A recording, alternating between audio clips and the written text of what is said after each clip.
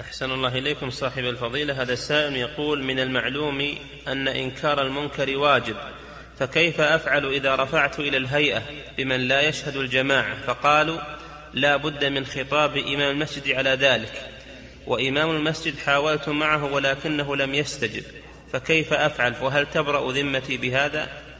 صار في ذمة إمام المسجد الذي أبى أن يكتب معك صار في ذمته وأنت أديت الواجب والحمد لله. وبإمكانك تراجعهم وتقول إن إمام المسجد أبى أن يكتب والرجل لا يصلي. نعم.